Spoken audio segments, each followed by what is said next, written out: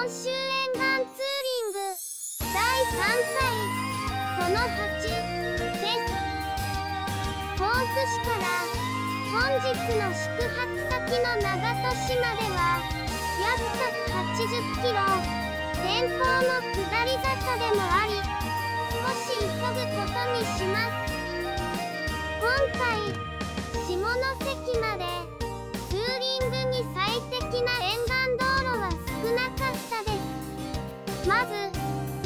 5000万年前の緑色沿岸が天然記念物とされている中の裏に出ました。松田のホース工場の前を通り多摩川のホー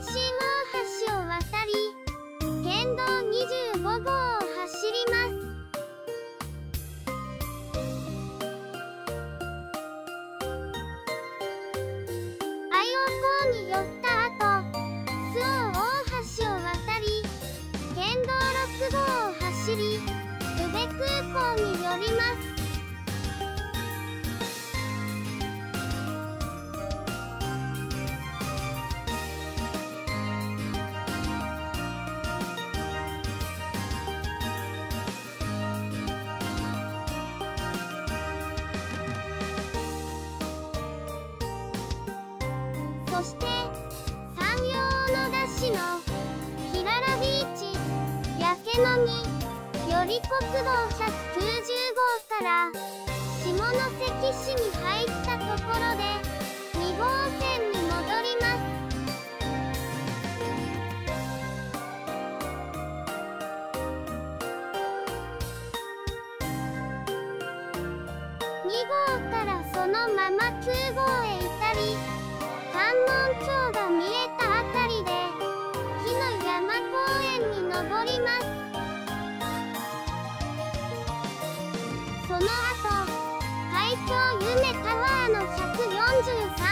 それの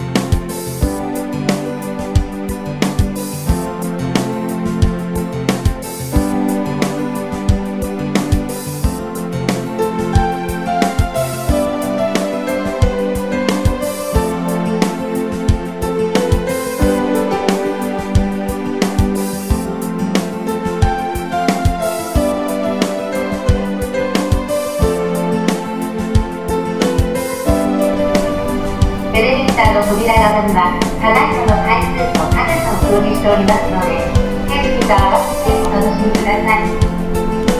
平成8年7月20日海の日にオープンいたしましたこの海峡夢タワーは全長153メートル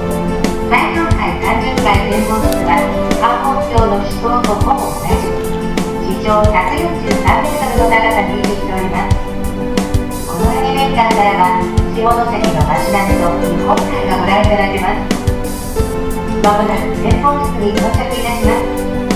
なお帰りの際には中央の階段を2回お降りいただきました。28階展望室よりフライエレベーターをご利用ください。どうぞゆっくりと